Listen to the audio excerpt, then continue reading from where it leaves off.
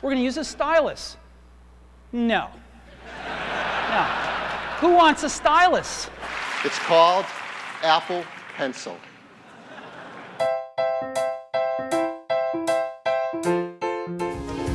Apple Pencil is designed to look and feel like a familiar tool.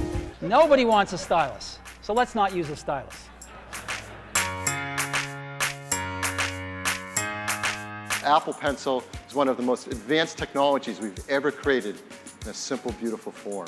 You have to get them and put them away and you lose them. Yuck.